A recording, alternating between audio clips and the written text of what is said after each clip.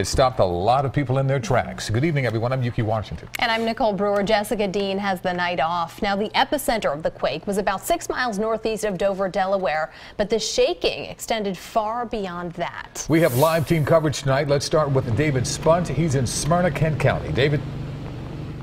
Hi, Ukee. I'm standing right now about 500 feet from the epicenter of the earthquake. Behind me is the Bombay Hook Wildlife Refuge. It's closed now. A lot of marshland around here on the Delaware Bay, but this is where it all happened this afternoon at 4:47 p.m. The whole house just started shaking. Linda Dempsey and her husband Joe live just feet from the epicenter of Thursday's Delaware earthquake. We're just looking at each other like, oh man, we thought maybe a big plane from Dover Air Force Base had come down. A few miles away in Dover, restaurant owner Diana Welch was getting ready for a busy night inside the Gray Fox Grill when at 4:47 p.m things took a bizarre turn. It was very brief, but it was very intense, so we knew it wasn't a semi. It was a little different than like a normal semi driving by. This surveillance video shows people relaxing at the bar when the 4.1 magnitude quake hit. You can see heads turn before everyone quickly left. Dover residents say the shaking lasted maybe 8 to 10 seconds. I looked around at my coworkers and everyone was just wide-eyed and um, we all went outside because we thought something might have hit the building. Officials with the U.S. Geological Survey originally classified the quake as a 5.1, then downgraded it to a 4.4 before settling at a 4.1. Officials say it originated about five miles below Earth's surface.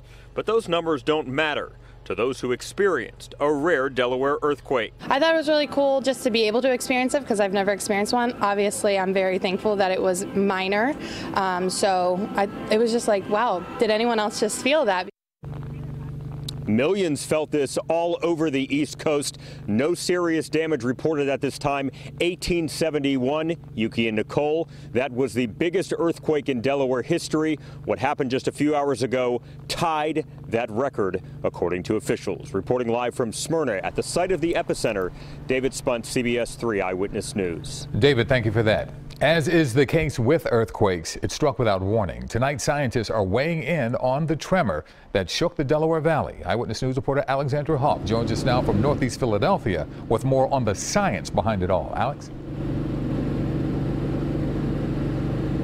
Yeah, Ukee, we spoke with Derrick Pitts with the Franklin Institute this evening, and he said it's not even necessarily completely rare for earthquakes to happen in this part of the country. The rare part is when we feel them at all, at all. And obviously, not everybody did feel this, myself included, but it all depended on where you were. I was walking down the street. I could have assumed it was a bus rumbling by. Others said they thought it might have been a subway passing by their home, but plenty of others in the Philadelphia area knew exactly what they felt. Tayana Towner of Northeast Philadelphia was in the middle of softball practice. We felt a shake, so we like stopped. And then my friend Mia, she was like, did you feel that? And I was like, yeah. I thought my neighbor was jumping up and down on the floor. So you're probably ready to be mad at them. And then when yeah. did you realize it was something else? Uh, when I heard it on the news. The tremors of this earthquake were feel, felt around a very wide area uh, all the way up here into Philadelphia for sure. Derrick Pitts, chief astronomer at the Franklin Institute, says that there's a good reason why smaller East Coast earthquakes are often felt by a large geographical region. The bedrock that underlies all, all the soil here extends up and down the East Coast a fair degree, and so uh, any kind of vibration of this kind of magnitude that occurs in that bedrock can be felt up and down the East Coast. This group of friends experienced the sway together. I live in Lower Moreland, and we felt it from, uh, from over there. They happen here every few years or so on average, and they typically tend to be around this uh, magnitude 4 range. Uh, for us, that's an intense earthquake, but on the grand scale of earthquakes, it's not very intense at all. Of course, this epicenter of this earthquake was in Delaware, but reports of it being felt extended all the way up to New England. Now, Derrick Pitts also added that he didn't expect us to have any kind of aftershock activity, but even if we did, he said it would be highly unlikely for any of us to be able to feel it. Reporting live in Northeast Philadelphia, Alexandria Hoff, CBS 3 Eyewitness News. All right, Alex, thank you. And meteorologist Kate Bilo has been looking at the effects of the earthquake. And Kate, uh, just how far the tremors were felt. That's right, Nicole. And it was a large area that felt these tremors.